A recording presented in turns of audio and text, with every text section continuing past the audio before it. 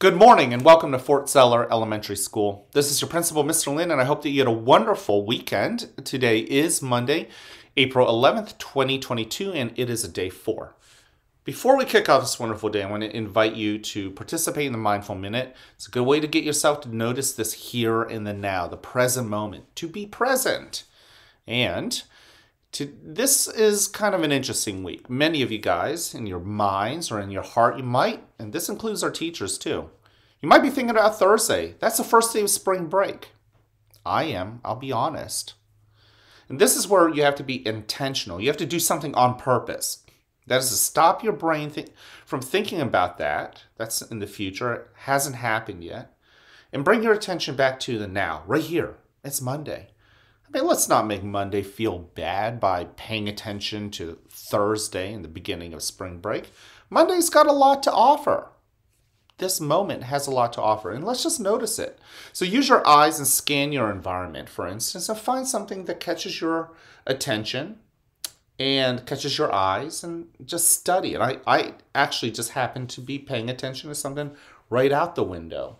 And I'm going to look at. I'm going to encourage you to find something in your room and study it. Study the textures, the colors, how big or small it is. And just be present and notice that you are existing in that same place as that thing you notice with your eyes. I happen to be looking at the fresh cut grass Hmm. All right, with your nose, breathe in and out. What do you pick up with your sense of smell? What does it remind you of? With your ears, just pause really quietly and notice what sounds there are around you.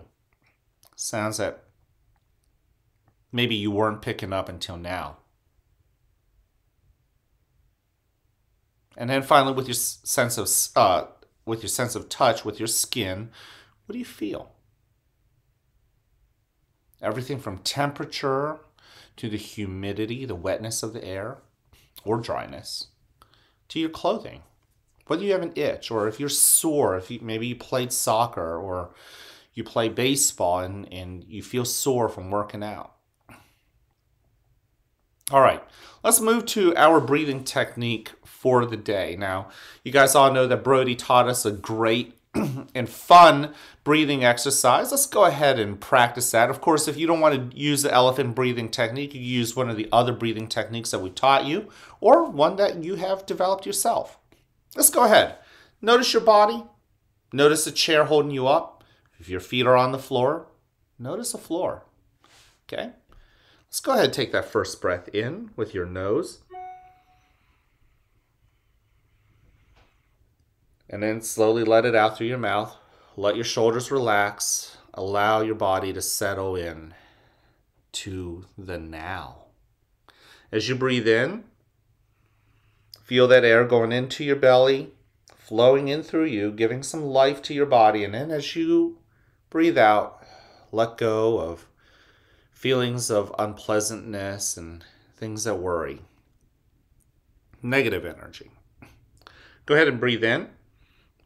Notice your brain, and if it's not thinking about breathing or what's going on here in the now, breathe out.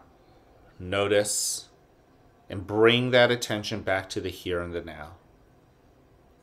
Be fully awake, even if your eyes are closed. Breathe in again. And breathe out. Begin to scan through your body from your toes. Wiggle all 10 of your toes, boys and girls. Breathe in. Notice them. Notice your ankles. Notice your feet. Breathe out. Notice your legs, including your knees. Both of them, your left and your right. Scan through your body to your lower back, your belly as you breathe in. Notice that belly expanding. And then breathe out. Notice your chest and your shoulders as once again they relax. Breathe in again. Notice your arms, your elbows, your wrists. Wiggle all 10 fingers. Notice them. Breathe out. Notice your neck and your head. And then pay attention to what feelings you've brought to school in your hearts. Breathe in again. Identify them. Sometimes you can be angry and happy at the same time. Maybe for different reasons. Breathe out. Just whatever those feelings are, whether they're pleasant or not, just notice them. That's all we're asking you to do. Breathe in.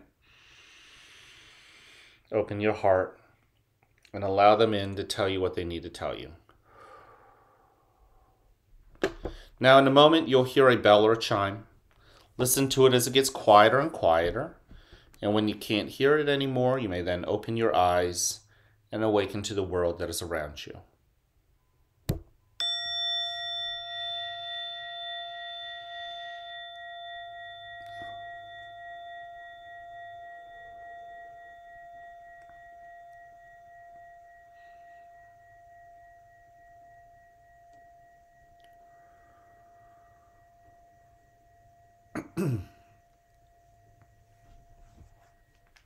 Welcome to a new day right here at the fort where you are loved, where you are cared for, and where we all want you all to succeed.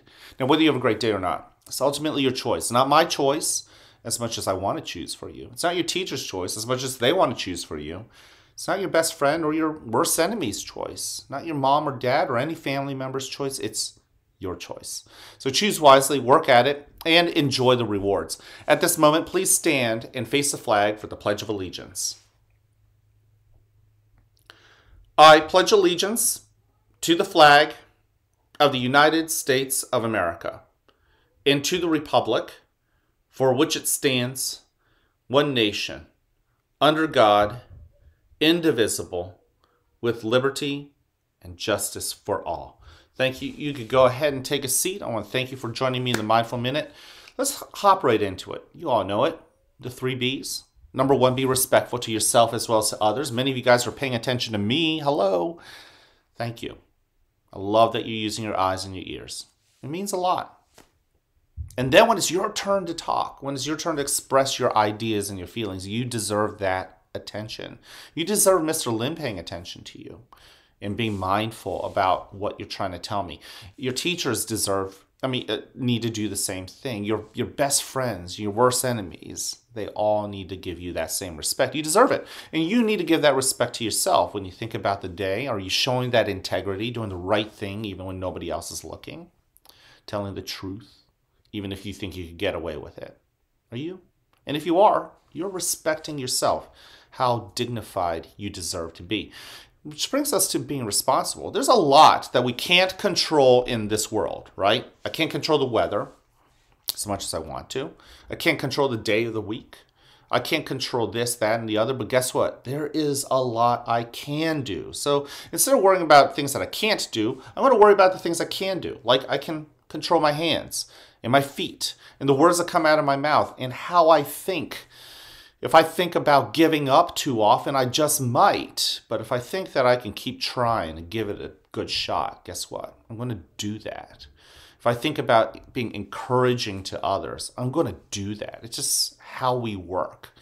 So, boys and girls, when we talk about control, it's not just about our physical selves, but also how we think and how our feelings go. The other thing too is make sure you follow directions. You can control that. Make sure you get your homework done. You you take care of business. You you know keep your promises those things are also under responsibility. And that brings us to being ready ready to learn, ready to succeed, to win, and also being ready to fail. You know, that's not something that people love talking about, but you know what? If it's just part of the process, it's just part of the process. Keep on swimming, right? You all know about that. That is everything our character trait of the month is about, which is perseverance. Keep on swimming, keep on swimming. You know, if you fail 10 times, try 11 times. If you fail 15 times, try 16 times. Always try one more time than you fail. And then you'll be a better person. You'll be more successful. Even if you're not where you want to be, you will be moving in the right direction. Last but not least, really important message. I love you just the way you are. Each one of you boys and girls, those of you guys who come up and tell me that you love me just the way I am, yeah, I love you right back. And even if you don't, even if you would rather tell somebody else, guess what? I still love you just the way you are. I love how unique you are. I love how you're growing. I love just the fact that you're that important to our school.